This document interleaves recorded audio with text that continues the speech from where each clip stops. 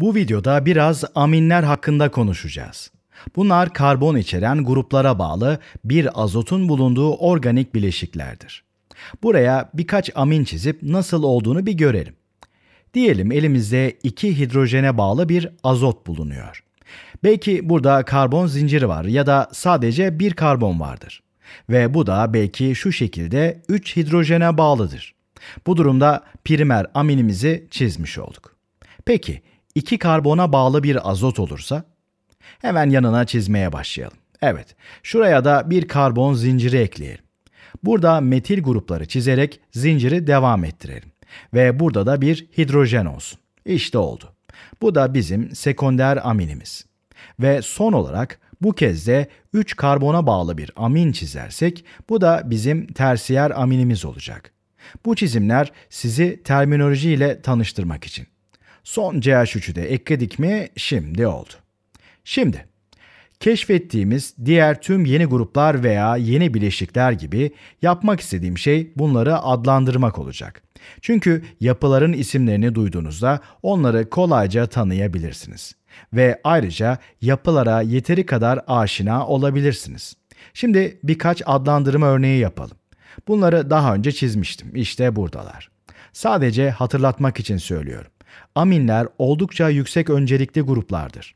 Şimdiye kadar öğrendiğimiz tüm yapıları düşünürsek en yüksek öncelikli olanlar aslında alkollerdir.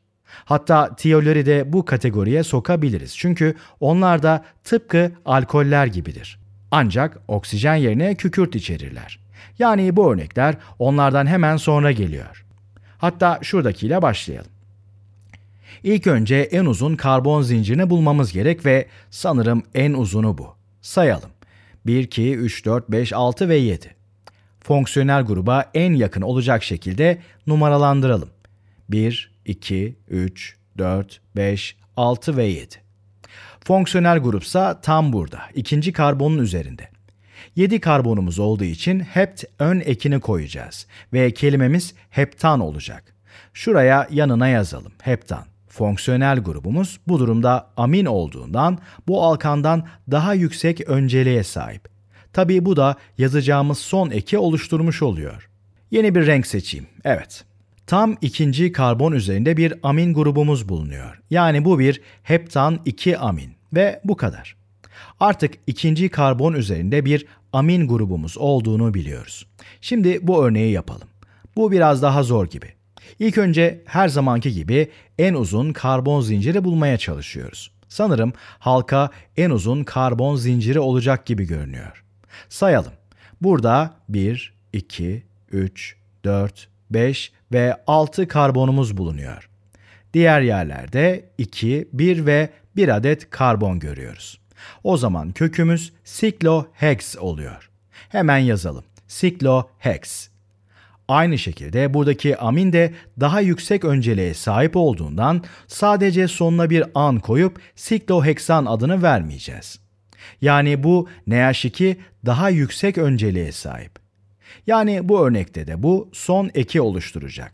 Bir de şunu düşünmemiz gerekiyor.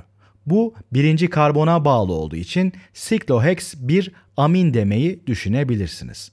Ancak genel olarak eğer bu son eki oluşturan öğe ise her zaman birinci karbonu baz alacağımızı varsayıyoruz. Yani buna sayıyı hiç yazmadan siklohekzanamin diyebiliriz. Eğer bu şekilde yazılmışsa amin grubunun bağlı olduğu yerin birinci karbon olduğunu varsayıyoruz. Burada yapmamız gereken başka ne kaldı? Amini hallettik. Siklo halkasını hallettik. Evet, burada bir de eter var ve bu eter 1-2 karbona sahip. Tabi burası eğer sadece 2 karbonluk bir zincir olmuş olsaydı burası etan olurdu. Ancak oksijene bağlı bir eter olduğunu bildiğimizden buna etoksi diyoruz. Hemen şuraya not alalım. Etoksi. Peki bunu nasıl numaralandıracağız? Şimdilik bu burada kalsın. Diğer tarafta nelerimiz vardı? Bu bir metil grubu. Yani üstü kapalı bir şekilde bu bir CH3. Çizilmemiş ama aslında orada bir karbon var. Tabi bu karbon nötrse 4 bağa sahip olması gerekir. Ve bunlardan sadece birini çizersek diğer üçünün hidrojen olduğunu varsayabiliriz. Bu bir metil grubu dedik. Ayrıca burada da bir metil grubu bulunuyor. Böylece elimizde dimetil var. Numaralandırmaya geçtiğimizde sola doğru 1, 2, 3 de diyebiliriz. Aşağı doğru 1, 2, 3 de yapabiliriz. Genel olarak fonksiyonel gruba ilk önce rastlayacağımız yönde numaralandırma yapmamız gerekir. Öyleyse numaralandırmaya başlayalım. 1, 2, 3, 4 ve 5. Burası böylece 5 etoksi oluyor. Diğer tarafta ise 1-2 dimetil oluyor. Şöyle yanına doğru yazalım. Bu ikisi birleşince 1,2 dimetil oluyor. Şimdi bunları alfabetik sırayla yazmamız gerekecek. Alfabetik olarak etoksi önceliği alacak. Çünkü dimetildeki di ön ekini hesaba katmıyoruz. Dimetil demek zaten 2 adet metil demek. Biz de o yüzden M harfine bakıyoruz ve o da E harfinden sonra geldiği için adlandırma 5 etoksi diyerek başlıyoruz. Aslında hepsini tekrardan şuraya yazalım. 5 etoksi 1,2 dimetil sikloheksan amin. İşte bu kadar. Adlandırmada kullandığımız en uzun kelimelerden biri bu olabilir. Ama kelimenin uzunluğuna takılmayın. Parçalara ayırın ve göreceksiniz karşınızdaki yapıyı anlamak çok kolay olacak.